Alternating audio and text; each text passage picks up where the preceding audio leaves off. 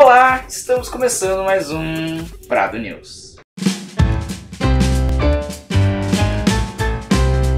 Nesse sábado, dia 15 de abril, haverá uma reunião conjunta entre o grupo de jovens e o grupo de adolescentes. Os grupos se reunirão aqui na igreja às 7 horas da noite para um culto de Páscoa. Portanto, atenção adolescentes, porque a reunião de vocês não vai ser no horário normal. E neste domingo, dia 16 de abril, nós teremos nosso culto de Páscoa.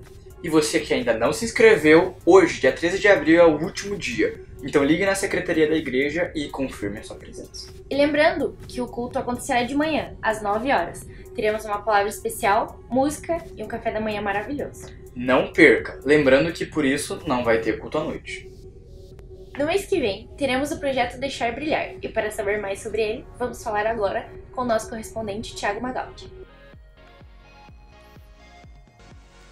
Olá pessoal, eu estou aqui para falar sobre o projeto Deixar Brilhar, que é uma iniciativa que irá ajudar um projeto da igreja de cada vez durante o ano, sendo que o primeiro deles vai ser com o Recanto Esperança durante o mês de maio. No dia 6, nós teremos um bazar no qual você pode trazer as suas doações aqui para a igreja e deixar elas cujara na secretaria. É, no dia 20 também nós teremos uma oficina de pintura que também acontecerá no Recanto. E nós estamos precisando de voluntários que trabalhem tanto durante o bazar quanto durante as oficinas de pintura. É isso. Obrigado, Thiago. Só lembrando que o projeto Deixar Brilhar era um antigo Amor em Ação. E por hoje é tudo, pessoal. Se inscreva no nosso canal para não perder mais nenhum dos nossos vídeos. Tem as gravações dos cultos. E compartilhe e curta no Facebook. Dá um joinha aqui embaixo. E até o próximo Prado News.